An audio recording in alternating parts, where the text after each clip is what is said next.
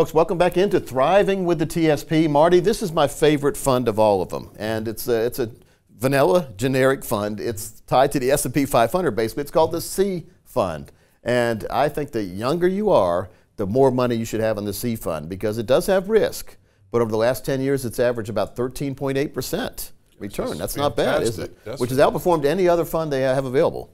it's yeah, pretty good. That's fantastic. Yep. Now let's talk about this, the uh, S&P 500. Yeah, I mean the, the, the, the, common stock fund, or I mean it's it's basically going to come very close to mimicking what you would see on a lot of periodicals, TV and stuff, is a, a quote unquote index fund. You yep. see that quite a bit. Every investment firm has those out there. So in that index fund, it's very very diversified. The money's invested in those S&P 500 companies, so they're large.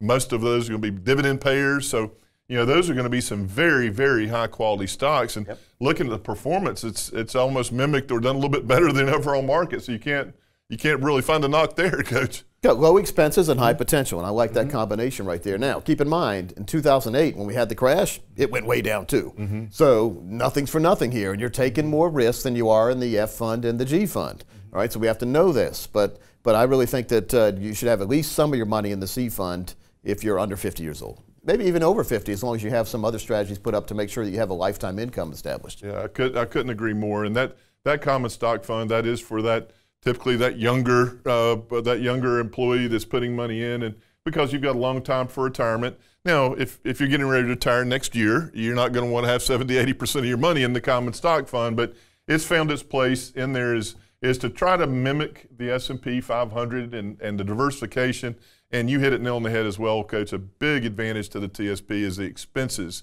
They are very, very low. We've talked about it many times. We call them the financial termites. Yeah, and we don't have many, any there. not many there. I mean, and no UFOs, unidentified financial objects. It's got it's got everything people know about. There's no hidden games or gimmicks here. So, mm-hmm. and when we look at the graph comparing the C fund to inflation over the years, it, it kills inflation. That's good. So it keeps you way ahead of the inflation curve.